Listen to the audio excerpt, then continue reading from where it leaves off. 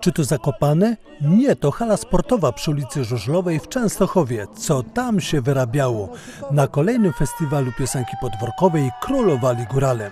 Zabawa była przednia. Śpiewali i tańczyli prawdziwi górale i ci trochę podrabiani. Hej, hej, góralu, czy ci nie żal, czy ci nie? My zawsze mamy strzał w dziesiątkę, jeżeli chodzi o naszych beneficjentów.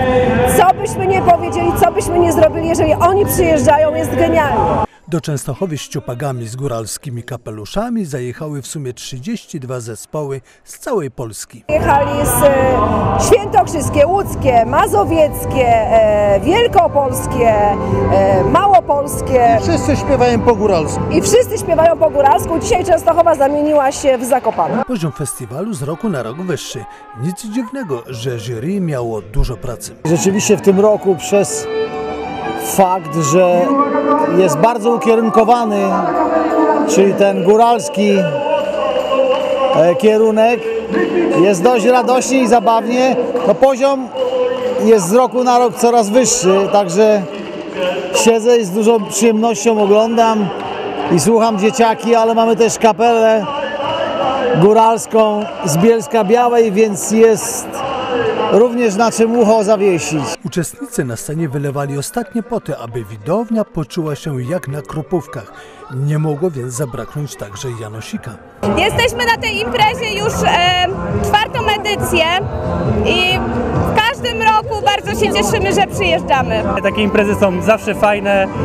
Myślę, że dla tych wszystkich ludzi, którzy tutaj przyje, przyjechali, nawet nie jest istotne, czy to będzie góralska, czy to będzie e, muzyka podwórkowa. Ważne, że jest zabawa, że się przebieramy.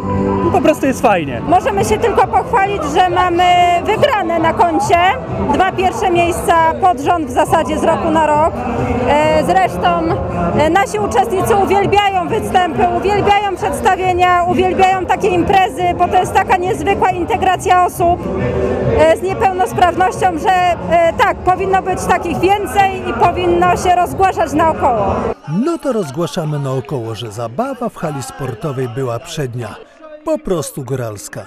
Jednak na koniec sami żeśmy się już pogubili.